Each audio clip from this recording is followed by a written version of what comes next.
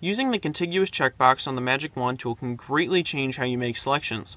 By checking it on, you are able to select colors that are similar and touching. By checking it off, you are able to select all instances of the color on stage. So as you can see, when I click the white area with the contiguous box checked on, it selects all white that is touching, thus leaving out these white boxes that are surrounded by black.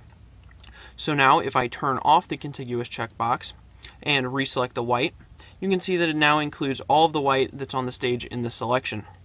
So to help remember this difference, just think that contiguous means continuous color.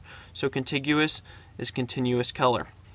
Now this has been a 60 second tutorial by River City Graphics. Make sure and subscribe, rate, and comment for more.